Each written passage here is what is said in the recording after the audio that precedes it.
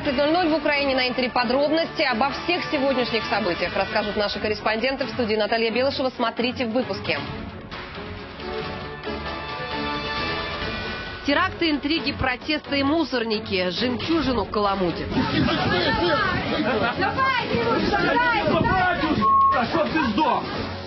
Луганск без георгиевских ленточек, триколоров и признаний в любви к России. Десять дней внутри ИГИЛа. Насколько опасна и масштабна эта организация? Рассказ журналиста. Крымская эпопея. Семьи украинских офицеров, которые остались верны присяге во время оккупации Крыма, теперь за это расплачиваются квартирами. Как устраивают облавы сотрудники ФСБ? Подробнее Юлия Крючкова. С вещами на выход. В Симферополе, в квартиры, где проживают родственники украинских офицеров, зачистили делегации. Сразу по 10 человек. Российские военные, полиция и люди в гражданском. Требуют, чтобы семьи украинских военнослужащих освободили жилплощадь. У меня совершеннолетний ребенок. У меня, говорю, мать инвалид второй группы. Притом она еще является вдовой ветерана войны. Говорю, куда должна выезжать? На улицу? Говорю, меня что, выбрасывают как котенка просто на улицу. Но никакие аргументы никого не волнуют и никаких документов, например, решения суда о выселении не предъявляют. Мы прописаны, у нас есть документы на квартиру. У меня трое детей. Постоянно возникает проблема и страх, что кто-то придет или мы придем, и квартира будет просто вскрыта. С ноября месяца это творится. Дочери угрожают уже по телефону. То месяц давали, то два. Приходим, квартира опечатана уже мы селились, как бы сорвали это, зашли в квартиру. Они теперь говорят, вы нарушили закон. Какой мы закон нарушили? Семьям военных дали неделю на добровольное выселение. Это не единичный случай, тоже происходит и в Севастополе. Там выселяют родню украинских моряков, которые несут службу кто в Одессе, а кто и в зоне АТО. Куча моих коллег, которые же проживают, то есть на моих соседей, то есть на моих товарищей, так само приходят и комиссии, то есть есть факты, когда по-варварски срезают двери, срезают замки, ничего не поясняя даже, допустим, не оставляя никаких документов. Таких случаев, допустим, насколько я знаю, допустим, порядка 15 случаев, то есть только по Симферополю и другим городам Крыма. В штабе ВМС Украины в Одессе говорят, повлиять на ситуацию не могут, пока собирают информацию и докладывают в Минобороны. Родственники украинских военных будут искать защиту в судах или на материке в Украине. Юлия Крючкова, Виталий Зитковский. Подробности телеканал Интер. Крым. Одесса. Новые теракты, интриги в руководстве области, протесты и мусорные баки. Обо всем подробнее Андрей Анастасов. Давайте, давайте! Чтоб ты сдох! Эту курву, блин, отправлю к Путину по кускам! Не пускайте, садики, Вот так одесситы и майдановцы встречали сегодня депутатов, пришедших на сессию Горсовета. Точнее, депутатов от пророссийски настроенной партии Родина. Вмешалась милиция, завязалась потасовка. Главное требование митингующих – депутаты не должны принимать решения о разработке детальных планов территории города без утверждения нового генплана Одессы. Мол, начнется строительный дерибан то, что предполагал Дерибас и Девалан, то есть это все рушится, а появляется какая-то хаотичная, какая-то колхозная застройка. Мэр Одессы, в свою очередь, назвал общественников заангажированными и вынес вопрос на голосование. Депутаты проголосовали «за». Я считаю, что это политическое, политические действия, направленные на то, чтобы в городе ничего не строилось, но бюджет города не пополнялся самое легкое обвинение, чтобы э, просто опорочить людей несогласных. Обвинить их в том, что они политически заангажированы и проплачены. Другие, но уже кулуарные баталии разворачиваются на уровне руководства области. Напомню, накануне председателем облсовета был избран Михаил Шмушкович, которого, в общем-то, не очень хотел видеть в этом кресле местный губернатор. Эксперты говорят, возможна конфронтация. И вот тут важно, сможет ли Шмушкович заручиться поддержкой большинства депутатов депутатов облсовета.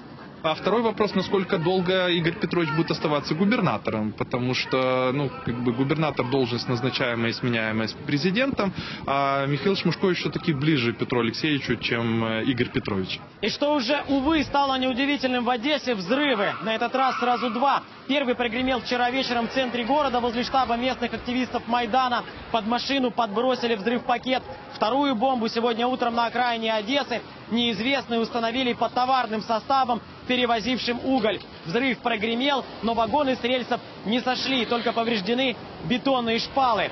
В обоих случаях пострадавших нет. Происшествие расследуется как террористический акт. Связаны ли они между собой, это дело рук одних и тех же исполнителей. Вопрос. Андрей Анастасов, Игорь Миханошин, подробности, телеканал Интер, Одесса. Днем чиновники и ученые, ночью бойцы. Кто они и чем занимаются в свободное от работы время, расскажет Сергей Бордюжа. На работе Максим Остапенко – большой начальник в подчинении десятки научных сотрудников. Он – директор национального заповедника Хортица достается в основном большее количество проблем, связанных с администрированием, с финансированием. Сотни научных работ – это и реставрация древних артефактов, и раскопки, и подводные археологические экспедиции. Но вот уже 9 месяцев они примеряют на себя непривычные акваланги. Очень схоже с компенсаторами подводного оборудования. То, что было задействовано при подводных работах.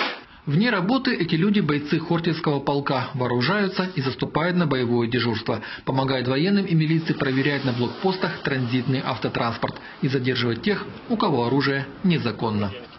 Самооборона Запорожья. Можно ваши документы? Физически осмотреть каждую машину нереально и спрятать можно что угодно, но э, глаза человека, его поведение, его интонации, то, как он себя ведет, это то, что человек не может спрятать. Ночное дежурство у добровольцев расписано по часам. Кто-то на посту, кто-то бодрствует. И так до утра, пока не приходит время снять униформу и снова в заповедник. В стране идет война, поэтому приходится делать массу вещей, которые совершенно как бы не свойственны и которыми никогда раньше не, не занимались. В противной ситуации мы просто можем перестать существовать как государство. Они по Кеннеди думают о том, что могут дать стране, а не наоборот, что страна может им дать. Хорошо, если даст потом, и что-то заслуженное. Сергей Бордюжа, Игорь Воробей, телеканал Интер, Запорожская область. Террористы на Востоке сегодня 25 раз атаковали наши позиции. На связи со студией Ярослав Кречко. А, Слава, здравствуй. Как прошел этот день сегодня? Расскажи подробности. Да, Наташ, добрый вечер. Ну, за последние сутки провокации террористов увеличились вдвое. Стреляли в районе Донецкого аэропорта Дебальцево. В частности, за Углегорском, по словам э, наших военных, у террористов стоят артиллерийские установки, с которых и могут обстреливать наших бойцов в районе Дебальцево. От позиций, э, от украинских позиций, на которых мы сегодня были, до позиций боевиков меньше километра. Наши бойцы и боевики пока наблюдают друг за другом, не стреляют. В них іде ротація зараз. І заїжджають молоді, по контракту росіяни, ну не місні. То ми оце спостерігаємо. Стріляють вони постійно, але просто що нас не трогають. Стріляють в других направленнях, в основному між собою. Большинство бойцов, с которыми мы сегодня разговаривали на фронте уже полгода, и теплых вещей и продуктов сейчас у них достаточно. В блиндажах тепло, есть печки, буржуйки. Зараз все вистачає, нас волонтери всім кормлять.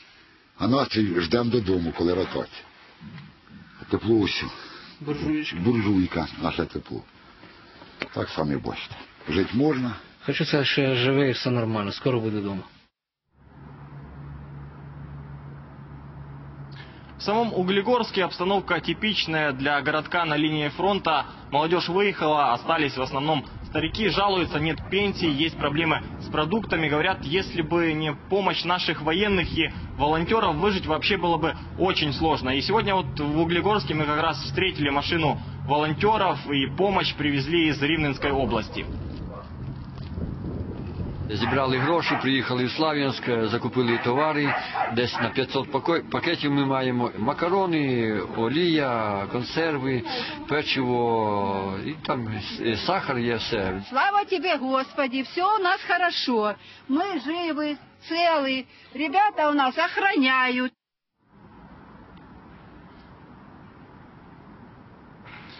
Наташа, у меня пока все. Спасибо, Слава. Ярослав Кричко из зоны АТО. И о том, как прошел день в Мариуполе, узнаем от Эльвины Сейдбулаева. Она также с нами на связи. Эля, здравствуй. У вас сегодня снова было неспокойно. Расскажи, что произошло. Да, Наташа, сегодня утром неизвестные обстреляли наряд милиционеров, охранявший мост. Это единственный путь между двумя районами, Орджоникидский и Ильичевский. Огонь открыли со стороны поля, это недалеко от Сартаны. Пули попали не в мост, а в бетонное ограждение. Местные правоохранители усиливают охрану спецобъектов. На базе Мариуполя проводились специальные учения, связанные опять-таки с выявлением взрывоопасных веществ, которые могут находиться э, под мостами, около мостов, около этих специальных объектов. Отрабатывалась тактика действий. А вот на передовой боевики очередной раз обстреляли наши позиции из минометов, гранатометов и стрелкового оружия. Это недалеко от села Николаевка. Мы были на одной из линий нашей обороны, там стоят танкисты, и вот что они говорят. Слышим гул моторов, как бы, скорее всего, танковых, да, потому что сами танкисты. То есть техника там есть. У нас достаточно сил, и у нас более чем достаточно патриотизма для того, чтобы здесь стоять и защищать нашу Родину. Волонтеры помогают украинским военным, а они, в свою очередь, местному населению. Сегодня, вот, например, привезли продукты детям одной из школ в Донецкой области. Там учатся дети из оккупированной территории. У нас було переїхало сюди е, 16 чоловік е, дітей, але зараз е, вже 6 поїхало. Ну, поїхали. Де в кого там наладилася ситуація. А от у нас діти навіть є із Попасного, ось приїхали недавно. І от солдати нам принесли допомогу. Ми їх обули, оділи. Я хочу, чтобы скорее война закончилась. И, и мы могли вернуться в Донецк. Чтобы никто не погиб. Чтобы ни- никто ничего не разрушил. На этом у меня все. Наташа. Спасибо, Эля. Эдвина Сидбулаева была с нами на связи из Мариуполя. О том, что происходит в оккупированных городах, как там живут люди, рассказывают они сами. Мы дозваниваемся до них не первый месяц, и те, с кем мы общаемся, к сожалению, очень далеки от предновогоднего веселья. Давайте послушаем Луганск и Донецк.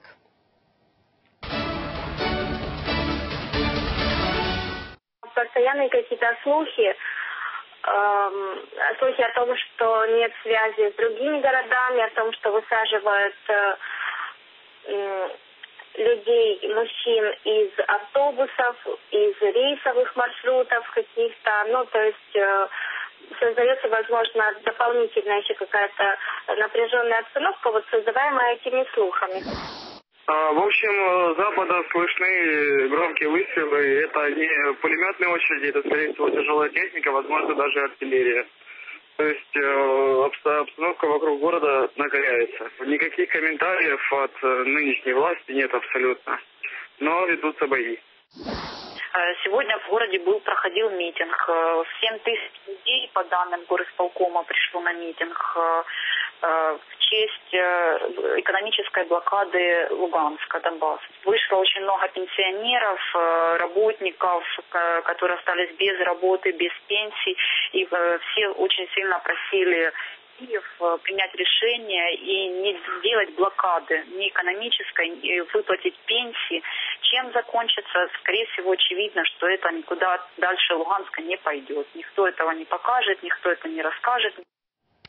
Нет, мы покажем, как выглядел этот митинг уже без георгиевских ленточек, российских триколоров и скандирования «Россия, Россия».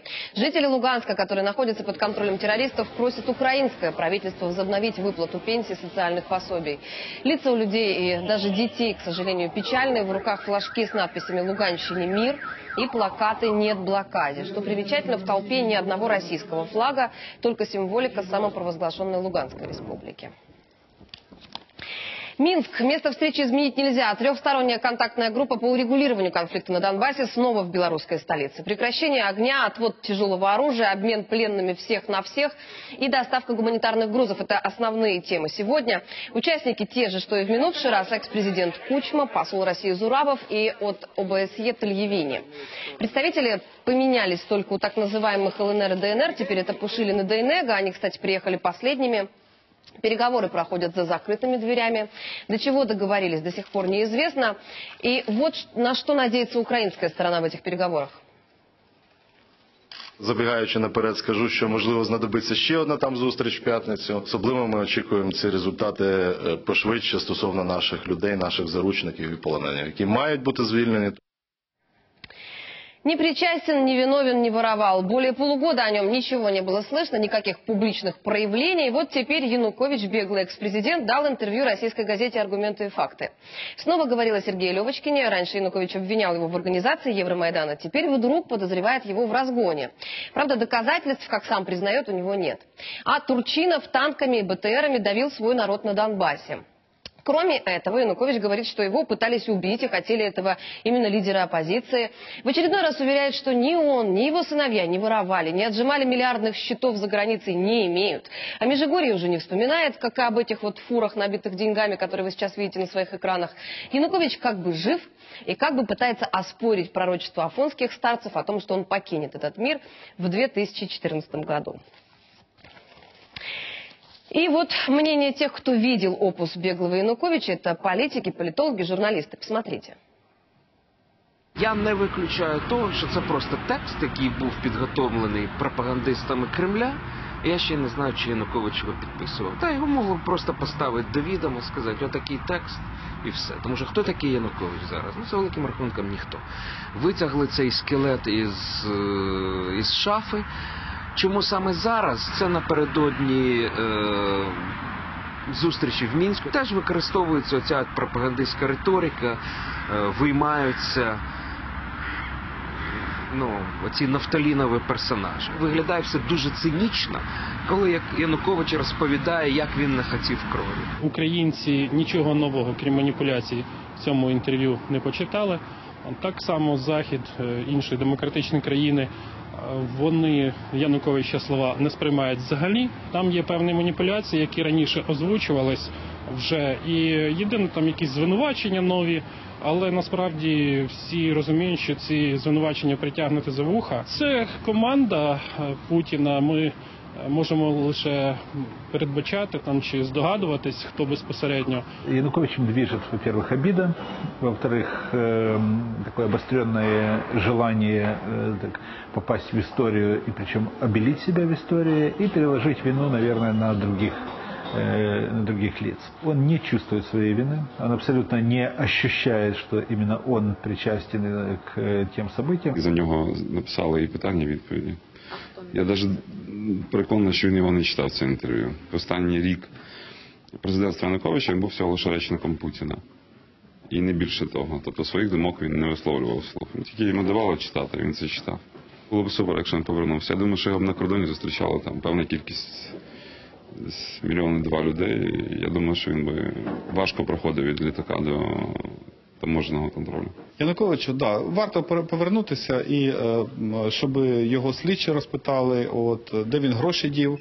Це якраз дуже допомогло б нашому бюджету. Я думаю, в контексті бюджетного процесу присутність Янукович була б дуже е, дуже корисною, і ми б ми б його могли спитати тоді, де ці десятки мільярдів, може 100 мільярдів доларів разом з віджатим бізнесом, які, які просто зараз ми не можемо ніде ні знайти, ні врахувати. З огляду на те, де перебуває і звідки мовить Віктор Янукович, він не надто є обласканим Кремлем. Навіть зараз Віктор Янукович не має права в Росії мовити з Москви. Він чітко там, як провінційний політик, в бігах сприймається, оскільки мовить він з Ростова на Дону. Я думаю, що в Україні його заяви сприймаються з величезним скепсисом. Скорее всего, Путин хочет вернуть, если не Януковича, то, по крайней мере, его формат политики. Янукович говорит устами мирного Путина. Вот э, Цена мира по Путину – это единое политическое пространство, но никаких реформ, никакого геополитического выбора. Это постоянная дестабилизация в середине страны. На сто процентов можно сказать, что это не сам Януковичев давал, оно написано а, и даже, ну, то есть и, и вопросы и ответы там Янукович не имеет никакого отношения. Поскольку предыдущая тактика, она, в общем-то, провальная, мы можем уже об этом говорить, что стало понятно, что военный вариант захвата Украины, он невозможен. Поэтому тут можно сказать, кто кого в длинную переиграет. В продолжение этой темы наша коллега Соня Кошкина дописывает книгу, где восстанавливает мельчайшие детали обстоятельств разгона Евромайдана. Эта книга выйдет в феврале. На своей странице в Facebook Соня утверждает дословно то, что исполняет сегодня Виктор Янук Федорович, э, ложь от первого до последнего слова. Клюев там был и был очень активно. Собственно, это его рук дело от начала до конца. У Сони всего два вопроса. Зачем и почему Янукович льет крокодильи слезы и из чего ему понадобилось так топорно выгораживать Клюева? Напомню, что именно Андрей Клюев в тот момент возглавлял Совет национальной безопасности и обороны. Именно его и его заместителя Севковича ищут по обвинению в разгоне Евромайдана.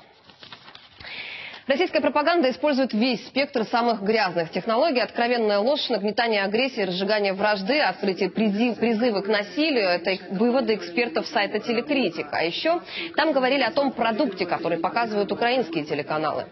А вот кто, по мнению Надсовета по вопросам телевидения и радиовещания, разжигает межнациональную вражду и почему пока так легко отделались, разбиралась Екатерина Лысенко.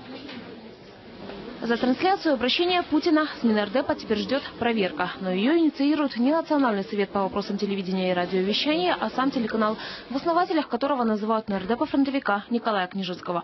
Официально телеканал хочет аннулировать предупреждение, хотя в Нацсовете уверяют, оно не безосновательно. Показывали более чем часовое обращение Путина к Федеральному собранию России и ретранслировали его с запрещенного в Украине Russia Today. В промові, яка була в ефірі телеканалу Еспресо, були зафіксовані заклики, які заборонені законодавством України. Заклики там до повалення до зміни територіальної цілісності. Ну до, до декілька закликів, які там порушують законодавство, ну які заборонені законодавством України. Вопрос достаточно интересный, потому что мы впервые столкнулись с тем, является ли трансляция, прямая трансляция речи Лидера другое государство не объявленного там террористом, но в то же время государство, которое де-факто находится в состоянии войны. Трансляція, наприклад, лідера держави агресора або держави, яка здійснює там певною мірою агресію території України, становить небезпеку для розпалювання міжнаціональної ворожнечі, для провокування конфліктів і становить небезпеку для життя і здоров'я людей.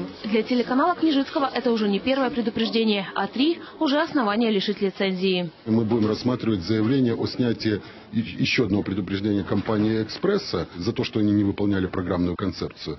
За это время изменился собственник, за это время изменилась программная концепция. Сегодня решение Надсовета должны были рассматривать в Верховной Раде в Комитете по вопросам свободы слова, но вопрос отложили. Инициировали однопартийцы Княжицького. Це формальна якась така формальний конфлікт. Він може бути знятий досить м'яко. Давайте ми все ж таки з питання по суті розглянемо вже на окремому засіданні. Перенесемо це питання. А еще в комитете решили выработать рекомендации, чтобы телеканалы наверняка знали, какие заявления транслировать, а какие нет. Тогда, говорят эксперты, и Надсовет сможет увереннее принимать решения. Я не транслировала просто с точки зрения того, что, вот, как я даже говорю, что должны быть нерукоподаваемые люди. Да? Вот, точно так же вот трансляцию все-таки я бы не организовывала. Но а большие выдержки там из его э, выступления с комментариями наших экспертов я бы давала. Щодо російських засобів масової інформації, то більшість за те, щоб їх не транслювати. Принципе, дело не в самом канале, а в том, что нардеп Княжецкий, который, кстати, возглавил Комитет культуры и духовности и не забыл приоттачить к нему игорный бизнес, сломя голову ищет кремлевских агентов, при этом оставаясь подручным КГБшника Севковича, которого обвиняют в разгоне Евромайдана. Заграничные счета Княжицкого, хоть и требовали журналисты ТВА от премьера, остались, так сказать, неиллюстрированными, как и он сам. Но это поправимо. Екатерина Лысенко, Елена Механик, Евгений Каменский. Подробности телеканал Интер. Рада в комитет на доработку, комитет обратно в Раду, но без доработки. Такой вот футбол, где вместо мяча законопроекты. После вчерашнего провального голосования в сессионном зале, сегодня в законопроект о расширении полномочий СНБО должны были внести правки в Комитете по вопросам нацбезопасности и обороны.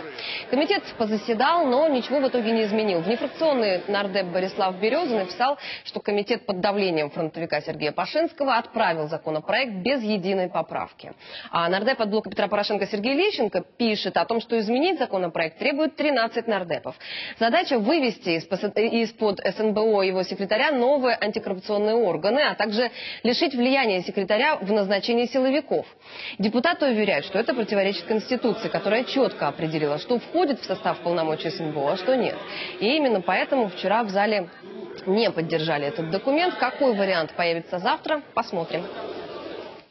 На газовом рынке нарастает грандиозный скандал, шокирующие данные аудиторского отчета и запросы премьеру, генпрокурору и главе фискальной инспекции. Удастся ли и в этот раз замолчать финансовые нарушения в газовом секторе? Подробнее Андрей Кравец. Если бы такая статья вышла в одной из стран ЕС, громкого скандала с отставками в правительстве было бы не избежать. Материал одного из влиятельнейших украинских интернет-СМИ повествует о грандиозных дырах в бюджете главной энергокомпании страны «Нефтегаз Украины». Со ссылкой на расчеты МВФ дыра оценивается минимум 100 миллиардов гривен. При этом значительная часть государственного газа исчезает в неизвестном направлении. В частности, идет о 2 миллиардах кубометров газа в год, добываемых госкомпанией «Укрнафта». Это пятая часть от необходимого для теплокоммунэнерго страны. Однако, вопреки закону, это топливо идет не на обогрев граждан, а продается по льготной цене одному из химпредприятий, принадлежащих группе «Приват». На превеликий жаль, е, практика групи Приват лише підтверджувала те правило, що е, Приват газ державі не віддає. В нарушение законодательства порядка 2 миллиардов кубов газа уходит на Днепроазот, там по давальческой схеме. Предыдущее правительство, оно еще господин Назаров в 2012 году обещал разобраться, в том числе из этой схемы. Ничего не удалось, все схемы работали, и это продолжается и сейчас. Об этой схеме свидетельствует письмо Счетной палаты Украины главе парламента Владимиру Гройсману. Подсчитано, что государство только от этой схемы теряет порядка 700 миллионов долларов. Потом, чтобы восполнить этот недостаток, Украина покупает за валюту газ у «Газпрома» по космическим ценам. Группа «Приват» в это время получает гигантские деньги. Видобуток газу в Україні відносно є дешевим. Е, він становить приблизно 40 е, доларів за тисячу кубів газу, а промисловість купує його в кінцевій ціні майже більше 400 доларів, тобто в 10 разів більша ціна.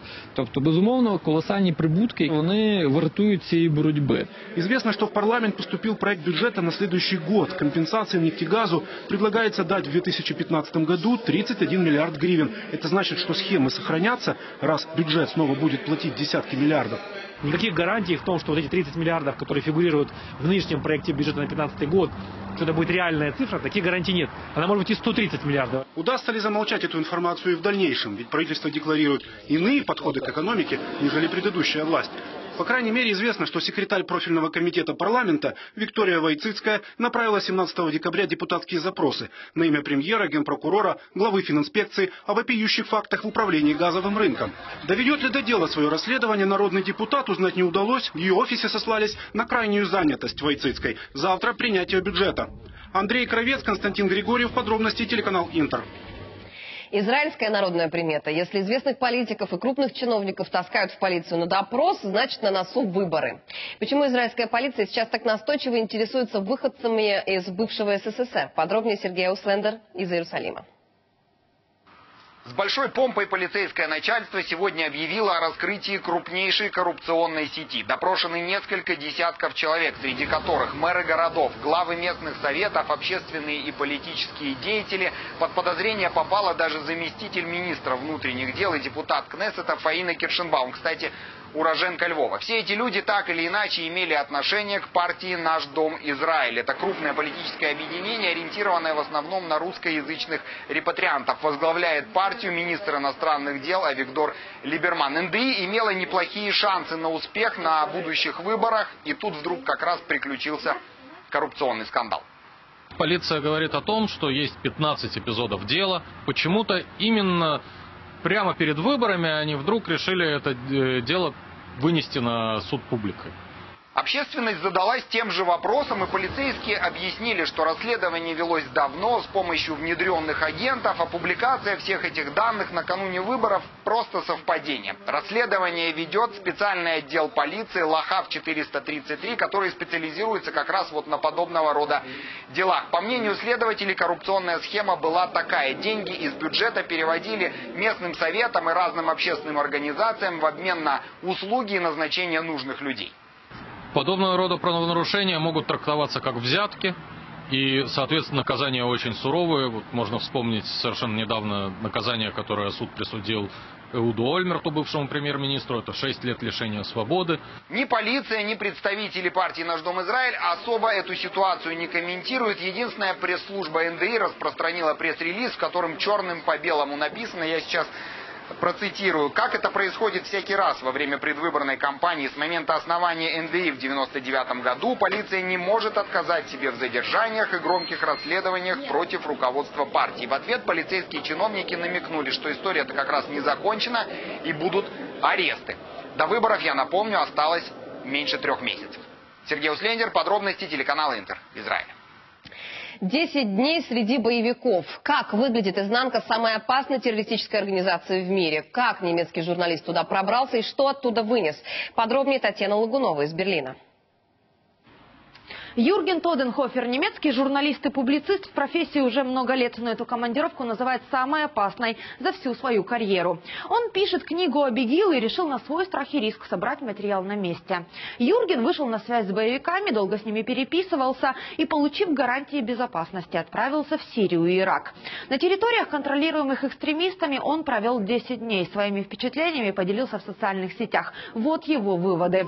Тоденхофер считает, Запад недооценивает ИГИЛ ИГИЛ. Эта организация одна из самых сильных и опасных в мире. Не сравнить даже с Аль-Каидой. В ее рядах настоящие фанатики. И с каждым днем их все больше. Журналист побывал в лагере приема добровольцев и собственными глазами видел. Каждый день туда прибывают минимум 50 человек. Из США, Германии, Швеции, России и других стран мира. Цель ИГИЛ, по словам журналиста, завоевать э, мир и провести масштабнейшую религиозную чистку в истории человечества. ИГИЛ – это расплата за войну в Ираке, которую начал Джордж Буш-младший, пишет Тоденхофер. И теперь Западу вряд ли под силу остановить боевиков. Сделать это могут только умеренные сунниты. Они такие же мусульмане, но большие враги мусульман-шиитов из ИГИЛ, чем кто-либо в мире. Тоденхофер не верит в возможность атаки ИГИЛ в Европе в ближайшее время. Считает, что страхи слишком преувеличены. Но это в ближайшее время. О перспективе ни слова. Татьяна Лугунова, Геннадий Никеенко. Подробности немецкое. Бюро телеканала «Интер». Веерные отключения, о них будем говорить чуть позже во второй части. Сколько часов в Кировоградской, Николаевской и Черновицкой областях люди вынуждены сидеть без света? Будут прямые включения из этих городов. Оставайтесь с нами.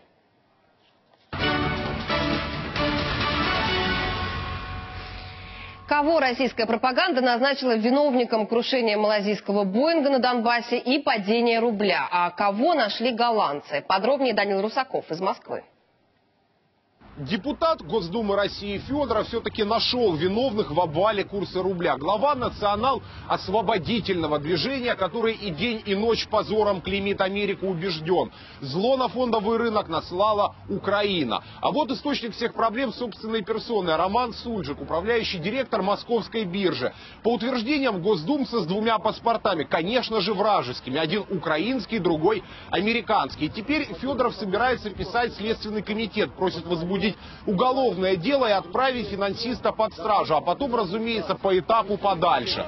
Впрочем, Федоров прославился не только громкими речами. Вот российские оппозиционеры на пикете в поддержку Украины. А вот, как говорят митингующие активисты национал-освободительного движения, пришли с ними поговорить.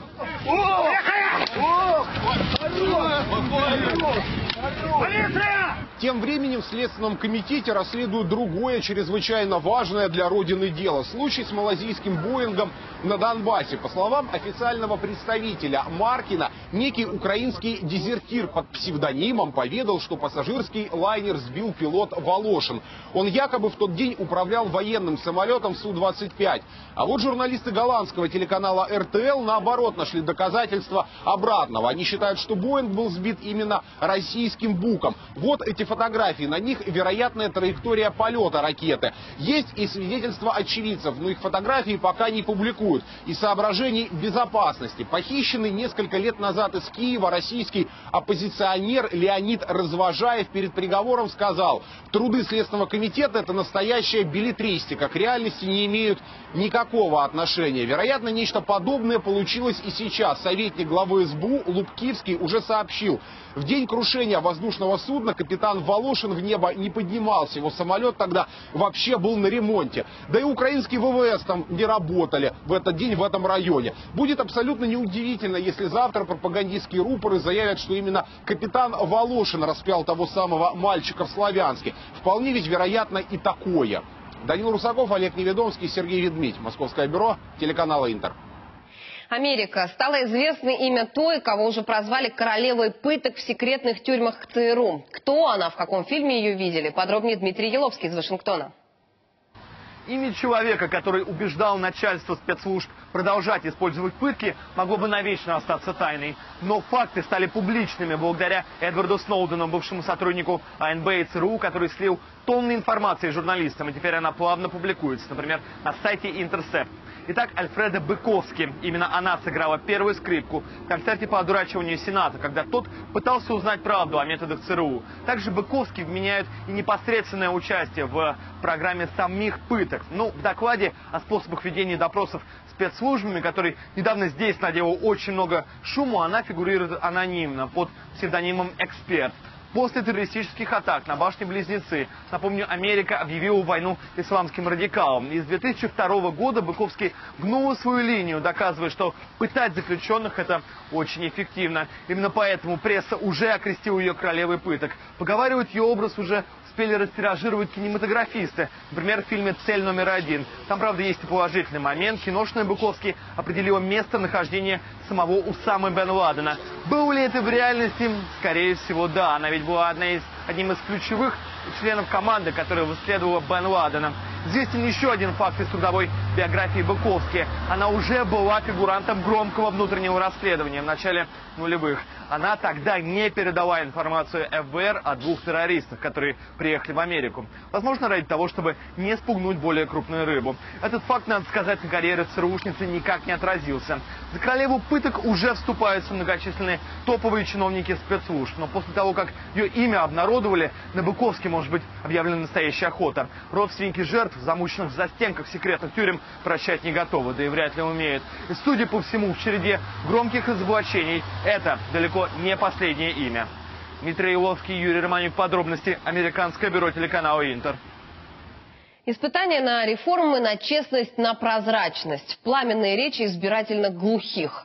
О ком не хотят слышать ни Министерство финансов, ни Министерство юстиции. Вообще правительство не слышит. Куда ушли миллиарды э, со счетов госучреждений? Привлекут ли к ответственности чиновников-миллионеров, обслуживающих семью Януковича? Подробнее. Алексей Пшемыский. Миллиарды, улетевшие из бюджета, тысячи квартир, которые так и не увидели украинцы. Вместо того, чтобы выдавать людям дешевые кредиты, государственное ипотечное учреждение еще с 2009 года стало пылесосом по выкачиванию денег для семьи. Пока на камеры валежно бросали ключи единицам счастливчиков, в Австрии на деньги украинцев строили виллы. Насчитать ГИУ более 5 миллиардов гривен. Это могли бы быть 20 тысяч квартир. Но учреждение выдает не более нескольких сотен кредитов в год. Где же остальные деньги? В каких банках или в каком банке? Э, вполне возможно, что их используют просто ну, как депозит в определенном банке. При этом заниженная процентная ставка возможна по этому депозиту, а разница делится коррумпированными чиновниками между собой. То есть, ну, это нужно проверять, где ли находятся эти деньги, на каких условиях они там находятся. И вообще, самый главный вопрос, а почему они там находятся? Потому что если ГИУ не использует деньги по прямому назначению, то есть не выдает их в ипотеку, оно должно вернуть эти деньги в бюджет. А нынешние руководители ГИО Андрей Камус и его зам Юрий Зоц пришли туда еще при Януковиче и Азарове. Именно тогда учреждение вместо выдачи кредитов стало активно скупать облигации. Больше всего денег получил Брок Бизнес Банк, беглого младомиллиардера Курченко, теперь уже банкрот. Я думаю, що це в банках колишньої сім'ї, швидше за все. Чиновник приймає рішення, кому дати кредит з відпов- з відповідною компенсацією, а кому не дати. Це перетворюється на кредити лише для своїх, для обраних. Они из своих кресел рулят денежными потоками ГИУ, не иллюстрированы. В прессе Андрея Камуза и Юрия Зоца называют мультимиллионерами. Якобы каждый владеет несколькими квартирами в центре Киева стоимостью миллионы долларов. А вот глава Камуз у своего авто класса люкс ценою свыше 100 тысяч евро. Мы попытались проверить всю эту информацию у самих руководителей ипотечного учреждения. Отправили запрос, но в пресс-службе вообще отказались что-либо комментировать, снова назвав это провокацией. Там прямая работа для прокуратуры. Нужно пускать под нож и под закрытие. То есть, если не удастся реформировать в сжатые сроки, то лучше закрыть. В ответ на наш запрос Минфине лишь сказали, заниматься коррупцией не их дело. А как же реформы? А как же миллионы украинцев, у которых забирают соцвыплаты, которые сидят без света, которым вообще ничего не светит, а ГИУ кормят? Где реформы, где иллюстрация? Подельники семьи Януковича до сих пор руководят учреждением, через которое улетели миллиарды, и на это закрывают глаза в департаменте иллюстрации при Минюсте. И правительство, кстати, не ухом. Но результаты расследования прокуратуры увидеть явно придется. И не исключено, что тогда закрыть смогут не только ГИУ, но и тех, кто закрывает на это глаза. И все это мы покажем. Алексей Пшемыский, Валентин Белич. Подробности телеканал Интер. Реформы, реформы, еще раз реформы. И Как можно быстрее президент провел первое заседание Надсовета реформ с участием премьера, членов правительства, спикера парламента и секретаря СНБО. И вот что сказал глава государства. боротися треба не лише з корупцією, а й з причинами, і з чорноземом, на яку цей будяк розростається. Є країни, де за корупцію виносяться смертні вироки. У нас зараз відчувається колосальний дефіцит професійних, патріотичних, кваліфікованих кадрів. І я впевнений, що ми мусимо поки що, на жаль, покривати цей дефіцит за рахунок так званого критичного імпорту, в тому числі і за кордону. Декілька сюрпризів я вам ще обіцяю. Ну а о сюрпризах, пока правительство раскачивается на реформах и ищет источники электроэнергии и уголь, премьер просит министра энергетики успокоиться, а пока все надежды возлагает на теплую погоду. Те, що зараз нас рятує, це температура. Якщо температурні режими підуть вниз, то це означає, що споживання зразу вугілля збільшиться і віялові відключення будуть масовані. Где донбасского угля под завязку некуда девать, и можно вполне без проблем, ни у кого не покупая, загружать ими ТЭЦ. Наши журналисты уже знают, они на месте и завтра расскажут нам. Ну и о веянных отключениях сегодня Николаевская, Черновицкая и Кировоградская области. Насколько там светло, темно, узнаем у моих коллег. Начнем с Николаева. Там находится Кирилл Ющишин, он с нами на связи. Кирилл, что у вас в области происходит, расскажи.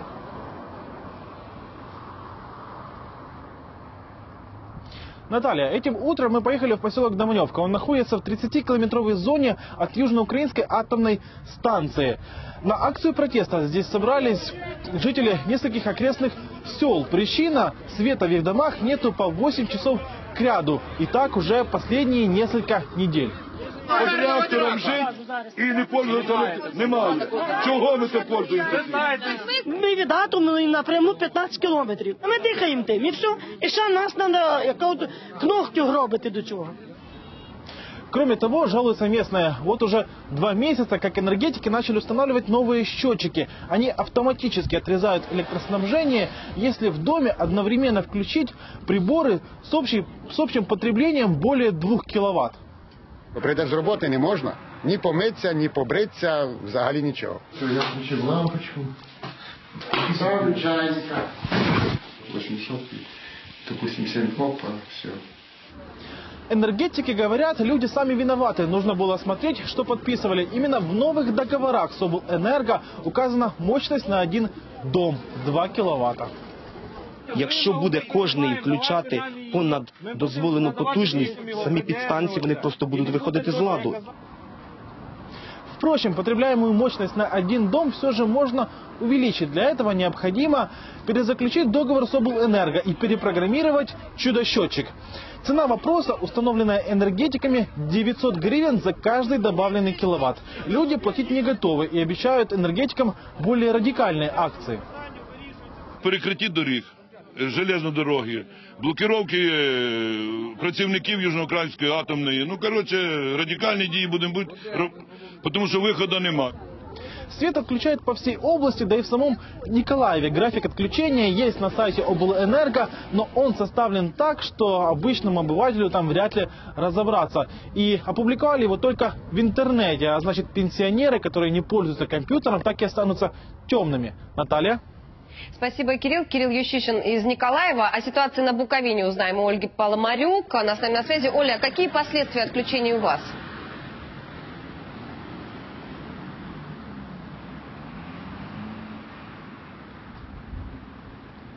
Наташа, у нас в области из-за внезапных отключений электричества участились аварии на дорогах, светофоры гаснут. У спасателей прибавилось работы. Бувають такі ситуації, ну, мені люди жалілися.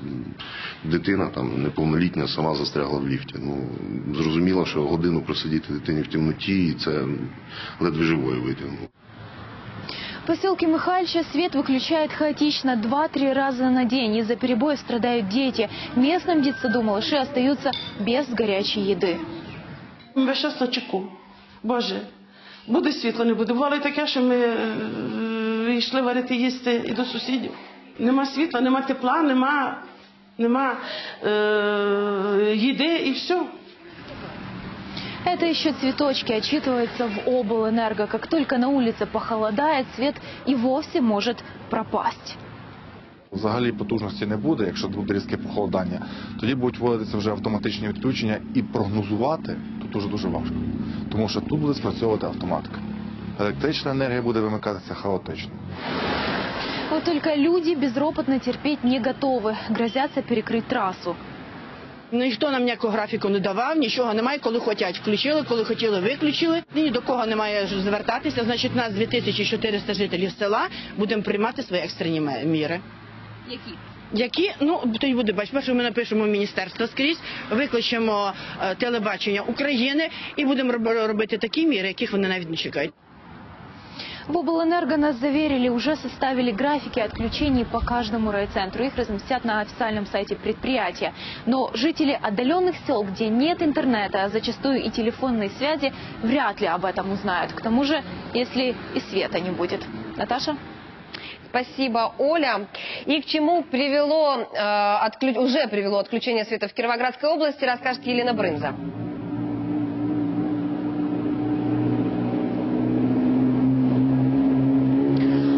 Наташа, жители города Долинска сегодня даже вышли на митинг. Их не устраивает, что микрорайон немецкий отключают по четыре раза в сутки. Пятиэтажные дома погружаются и в темноту, и в холод.